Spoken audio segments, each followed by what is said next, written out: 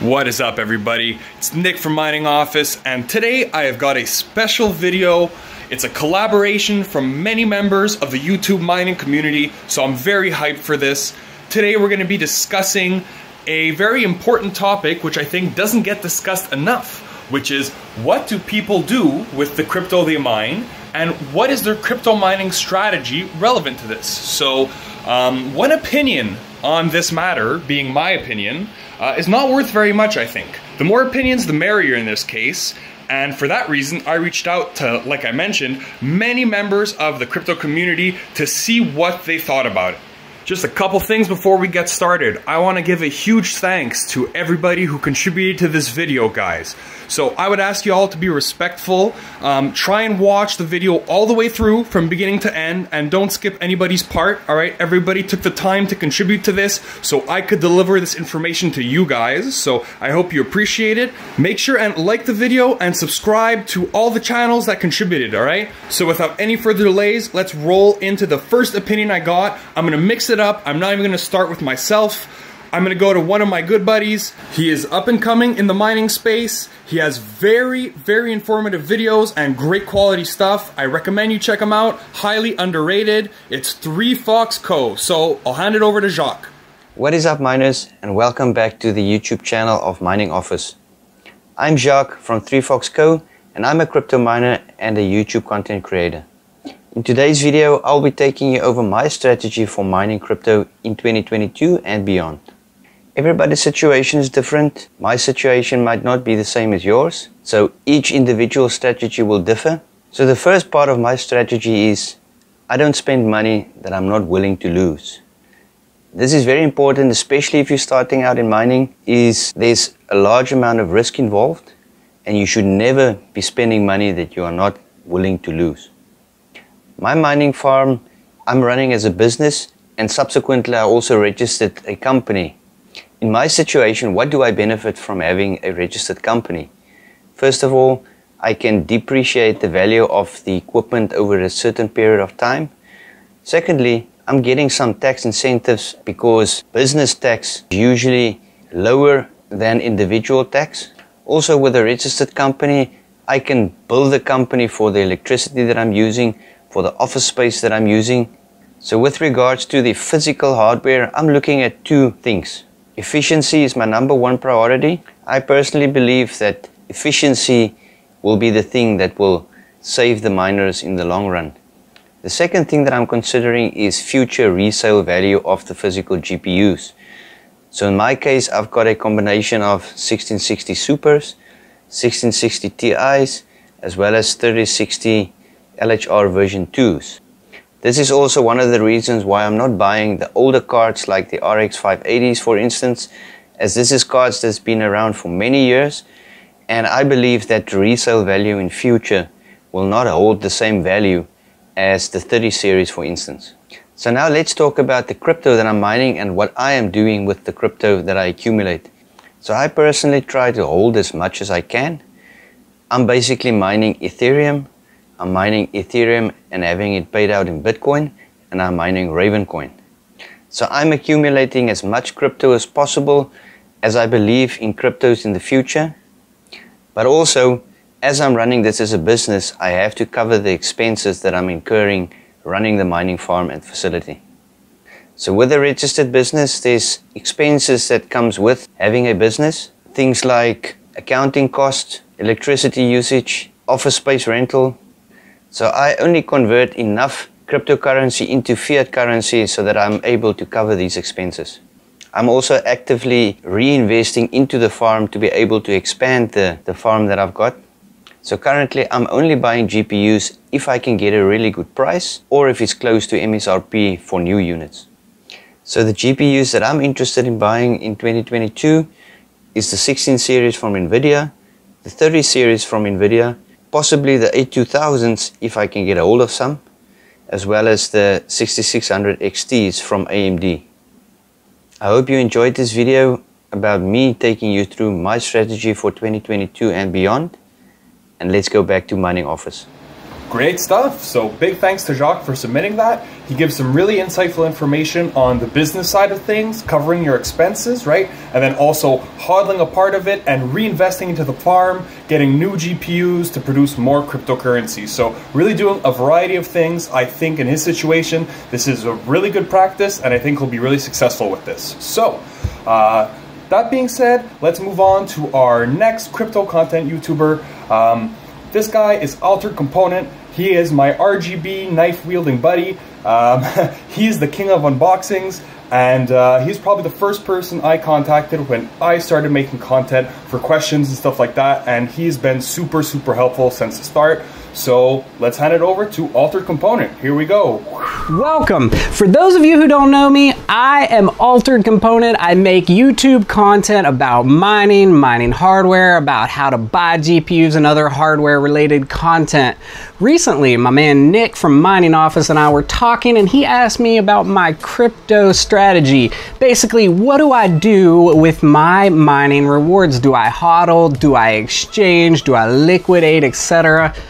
Before I go into the details of my personal strategy and what I do, I want to start off with a disclaimer. This is not financial advice. There is an inherent risk with investing, any investing, and especially with cryptocurrency. Never invest what you cannot afford to lose. At the end of the day, do your best to do what suits you and your individual situation. Okay, now that we got the disclaimer out of the way, I thought I should probably quickly touch on my background and how my crypto strategy has actually changed in 2021. My strategy was much different from today. From 2017 to 2020, pretty much everything that I mined, I held on to or I hodled when 2021 rolled around, the whole market began to boom, it began to bustle again, and it was time to basically grow my mining operation with the market. Nowadays, I spend nearly all the ETH as fast as it comes in to reinvest into my mining farm. So the question at hand is how do I turn uh, this into uh, this? Well, for one thing, I use this guy. This is a Crypto.com Visa card. Hashtag not a sponsor. Basically, all of my mining rewards drop into an external wallet, and then I move that Ethereum into the Crypto.com Ethereum wallet. I use the app on my phone to top up my prepaid Visa in the US dollars, which is essentially selling the Ethereum within the Crypto.com app at the current market value. Then the card basically acts like any other Visa or debit card. I use this Crypto.com Visa card on Newegg, on Amazon, on AMD Direct. Make sure to check out my video on how to buy AMD GPUs at MSRP, by the way.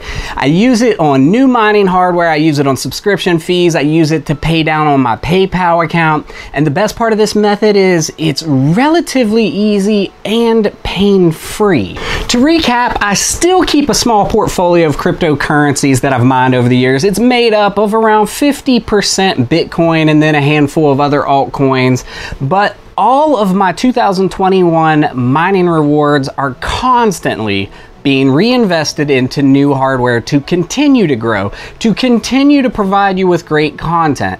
I just want to close out by saying thank you to my man Mining Office. I appreciate you allowing me to drop in and to share my current cryptocurrency strategy. And now back to you. Very nice. Big thanks to Altered Component. Uh, it was very good of him to share his strategy. You can see for him it evolved over time. He's at the point now where he's going all in, reinvesting all his crypto to get new equipment. If you watch his channel, you can tell he's doing a unboxing every day. That's maybe not true, but he's doing unboxings very, very often. Uh, he's always getting new gear in, and you can see him expanding the farm nonstop. Uh, it's really cool to see. I wish him the best of luck. Um, and it's great to see somebody going as hard as he is. So uh, I guess now is a good time where I can give my strategy. I'm telling you right now, it's going to be short and sweet, guys. For myself, I hodl everything I mine. I have not sold a single coin, a single token yet. I've sold nothing. Actually, the only things I've actually purchased with cryptocurrency have been NFTs on uh, ETH and on Ravencoin. So all the ETH, all the Raven, all the Raptoreum, all the Helium. I've hodled it all, and I just store it on this guy, or I store what cryptos I can on this guy, uh, on my Trezor. So I'm really hodling it for the long run. I'm hoping for those long-term gains, and I'm reinvesting into my farm with fiat uh, in order to buy new gear, new GPUs, and stuff like that, and really trying to hodl all the cryptocurrency I have for the time being. Maybe will come a point where I want to grow the farm more, and I might want to sell a part off. Um, but I have not even taken any profits yet. Some people might say that that's not smart and you should take profits on the way up. I partially agree with that, but I'm I'm really bullish for the long run on cryptocurrency, especially on ETH and Raven. So I hold those as much as possible. That's it for me. Uh, let's hop on to our next content creator who contributed. This is going to be Anonymous Miner. He does a bunch of great tutorials on his channel. He's really been exploding recently, does a lot of great stuff on Raptoreum, setting up nodes. He's really knowledgeable on the Helium stuff. I could keep on going, so without any further delays, let's pass it on to Anonymous Miner. Here you go. Hello there, Mr. Mining Office. This is the Anonymous Miner. Thank you for having me on today, and I'm going to go over what I have been doing and what I will be doing with my profits from mining. So up until now, I have been um, what is quote unquote called rolling the snowball, meaning that I've been buying more and more mining equipment with my mining profits. Now, I have hodled some of those profits, but not as much as I probably should have. I also have to take into account taxes. So I've been saving some money on the side for taxes. Now, what I'm going to start doing is investing in solar. So I found this company here called Santan Solar. They're in uh, Arizona or Nevada. I always mix those two up. It doesn't matter. But the fact is that they have these used solar panels where they take apart large solar installations where they're either upgrading or they're getting rid of the installation. And you can get used solar panels for really cheap. Now it says these have snail trails. You should do some research on that. I don't have time to go over that. But basically, I'm going to get about 10,000 watts of solar panels for $54 a piece, which is about two grand. So about with shipping, 2,500 bucks. I'm gonna have about 60 kilowatts of solar power per day. Now, all in, my installation will be about $10,000, maybe a little bit less, with permits and everything, and inverters, wiring, racking, etc. So everything all in is gonna be about $10,000 or less, and it's gonna save me about 14, 13.50 to $14 a day at my local power cost. So that works out to be about two years, two and a half years before the system pays itself off. And then I have, after my initial investment, essentially 60 kilowatts of free power a day for mining. So that's where I'm going right now. I'm going to fill my entire roof with solar panels. And after that, we'll see if I can reinvest in some more mining equipment or whatever else I'm going to do. But that's where I'm going right now. And I hope you guys stay tuned. So thank you for having me on today. Fantastic stuff from Anonymous Miner. Guys, I'm loving this video. Everybody is bringing a different aspect to it. So Anonymous talking to us about the taxes, that's something I think all of us are scared of. I know I personally am. This is my first year doing cryptocurrency, so I'm gonna have to start looking into that now. But that's being extremely smart, right? Taking profits to pay the taxes on the gains you've made and on the income you've made and then reinvesting into solar. Again, a very smart long-term play. Once you've paid those solar panels off, I don't know what the ROI is like on that, but you've got free power afterwards that you can use uh, towards crypto, further reducing your power costs. So great stuff from Anonymous Miner. I'm really glad I reached out to all these cool people. I have so many great submissions here. We're gonna have to do this in two parts. So the last person I have for part one of the video is the big dog. He's the big fish in the sea. You guys all know him if you're tuning into this video. He's our Finnish friend, the spreadsheet king and the master of overclocking. Guys, if you need any technical details, please hop on over to his channel. It's Seb from Seb's FinTech channel. I'm sure you already know him, so I'm really looking forward to seeing what his strategy is. So let's hand it off to Seb. Here you go. Hey, how's it going, mining officers? Seb Heslo here, and I have a little channel here on YouTube called Seb's FinTech channel where I do mining content, mostly about the sort of hardware and software side of crypto mining. And Nick sent over a question to me, which is basically, what do I do with my crypto once I've mined it? And to put it short, I've been mining since about February of 2021. And since then, I've sold everything. I've cashed out every little piece of Ethereum and other coins that I've mined And that is because, in I guess my opinion, crypto prices are really high right now, and they have been consistently high throughout all of 2021 and still are. So I'm taking advantage of that now as someone who started, you know, somewhat recently to cash out everything in order to be able to build up my farm now while crypto prices are high. So if we, you know, see some sort of dip either in crypto prices or mining profitability, then I will be at a decent size, you know, mining wise, and don't have to worry about, you know, ROIing my hardware or anything like that because all of my hardware has been paid by the mining it has done itself, basically. And I'm pretty much at a spot now where I'm kind of like, okay, I need to calm, calm down with buying new hardware because I'm basically at the limit now of what my house can handle temperature wise and it's the middle of winter so I don't think I can add more GPUs without cooking myself alive in here so basically what I'm doing now is I'm still cashing out but I am saving that money in order to pay for upcoming taxes and as well as electricity costs for the coming year and probably also looking into maybe building a shed to put my mining gear in something like that I don't know. That's just, those are just loose plans for right now. But yeah, those are my strategies for what I'm doing with my mined crypto. So Nick, thank you so much for including me in this video. And I guess let's hear what someone else has to say.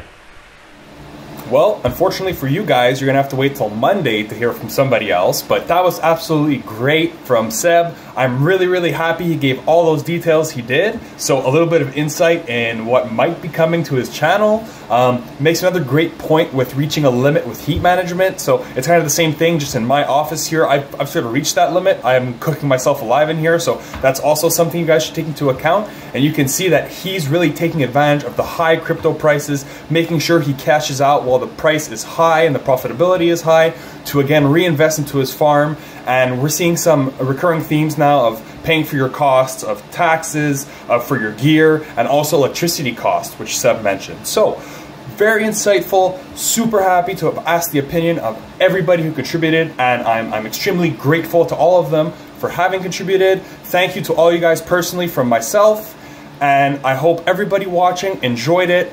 Please go subscribe to all their channels if you're not already. And I'm really looking forward to part two of this video. So guys, let me know what is the strategy that surprised you the most out of anybody here? And what is the strategy that resembles yours the most? So again, thank you for watching. Smash that like button. We'll see you guys on Monday. Take care. Mining Office out.